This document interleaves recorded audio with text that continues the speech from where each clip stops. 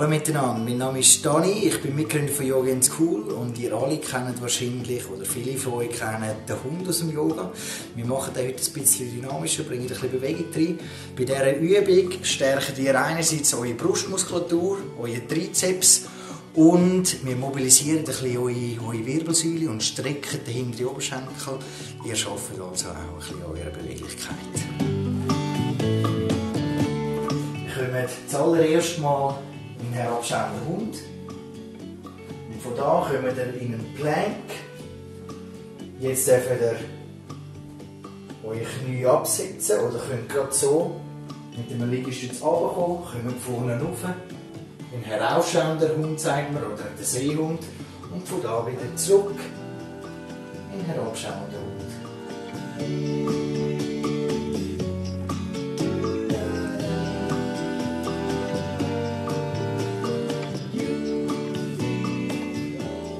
Wichtig ist, denke daran, die Schultern immer möglichst weg von den Ohren.